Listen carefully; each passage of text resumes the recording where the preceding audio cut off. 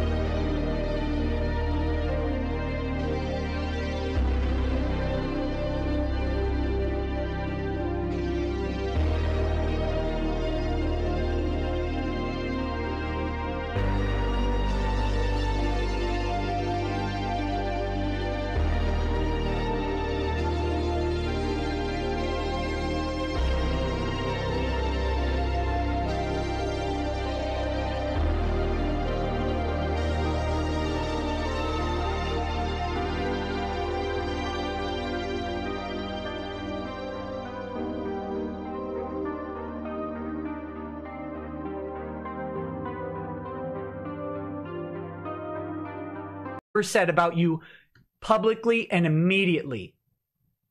I will apologize for everything. And I bet you get out of this lawsuit in a heartbeat if you just admit that that's what happened. I don't know if that's what happened, but Monica, if you're out there and this sack of garbage is beating you or scaring you or threatening your friends, your family, your animals, whatever it is, you don't have to put up with that. You don't have to be dragged into a lawsuit. Especially if you know who Vic is. And I think you do. I think you know.